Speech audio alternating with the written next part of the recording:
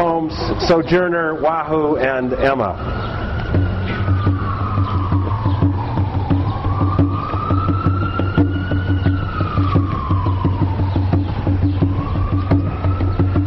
This is for you, Sojourner, and all the burdens that you bore.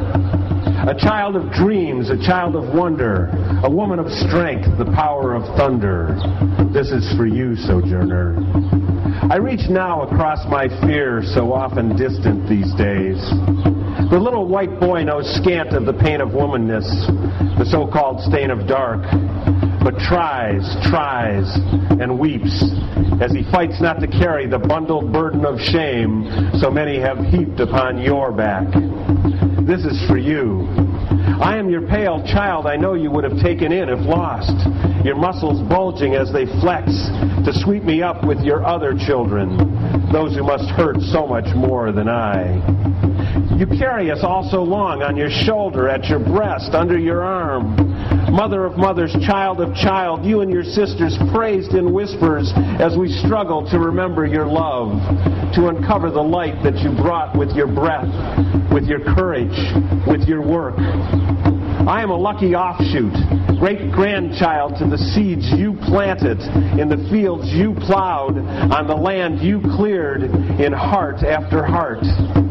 This is for you, Sojourner, and for every child who has gone hungry for food or love, every child who has sucked at the barren breast of prejudice, supped at the poisonous table of ignorance, genocide, and greed, every child who has witnessed the wrenching ripping of her spirit, every child who has felt the need to clean up the mess left behind, every child who has been left behind. This is for you, Sojourner. This is for every child in every community and every child inside every soul. This is for you, Sojourner. This is for you. This is for your spirit. This is for your vision. This is for your love. This is for you. This is for me. So far, not enough, I know, but I'm still working on it.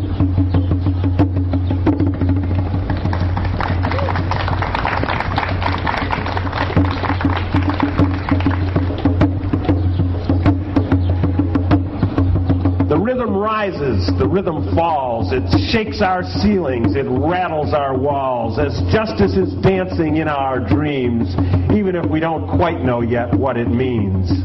Chief Wahoo wounds our children's hearts, defiles the religion, demeans the arts of the first people, our Turtle Island hosts, the nations that were nearly turned into ghosts by some of the very people we've been taught to honor the most murder and mayhem, robbery and rape. It's a painful history we just can't escape as we live out our nightmares and seek out relief from the pain in our psyche from the long buried grief. Home runs and hot dogs, base hits and balls keep us numb to the pleadings, numb to the calls for justice, for life, for compassion, for respect. At Fort Laramie, Fort Progressive, Fort Leavenworth, respect. And sure, we fouled their water, fouled their air, fouled the land we claim to care about, but th- that's just something we can't think about. Something we can't think about. Like how we mutilated their history as we scalped and carved, as we slashed and burned our path through their homeland, through their dreams, through their children's hearts, stretching their skin for fun over our hats, over our saddle horns, over our souls, in an ongoing genocide we cannot face. No wonder we long for a stolen base, pray for a home run, rush to embrace a cartoon. We've lost our grace and cannot find it.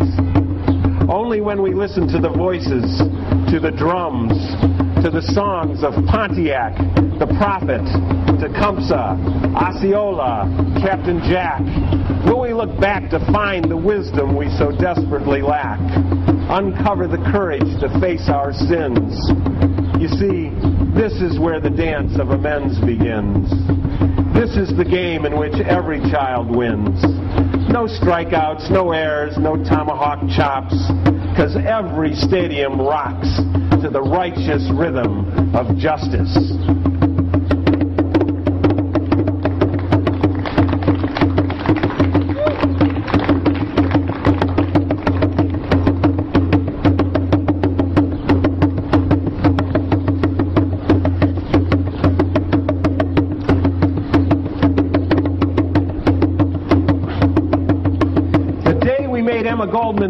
A holiday was the day cops stopped crushing skulls with clubs.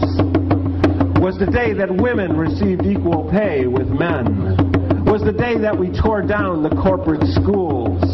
The day that every neighborhood operated a television station, every voice a website. The day we made Emma Goldman's birthday a holiday was the day we dismantled the death machines. The day we found no more use for prisons.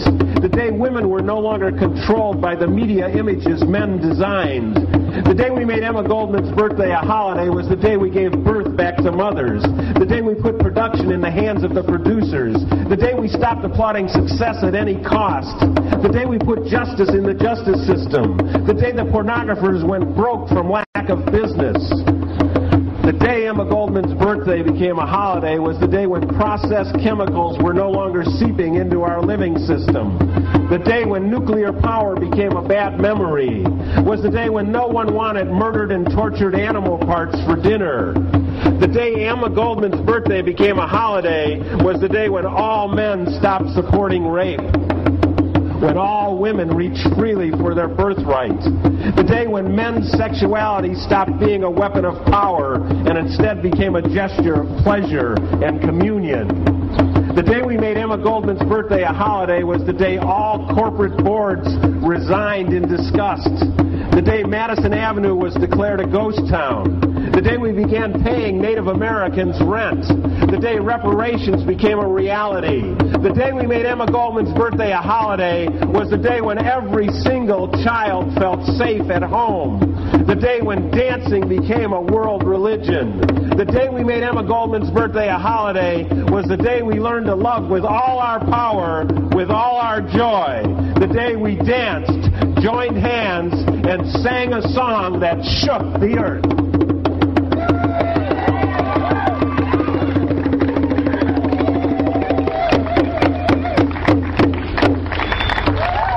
Thank you. Thank you. You're welcome.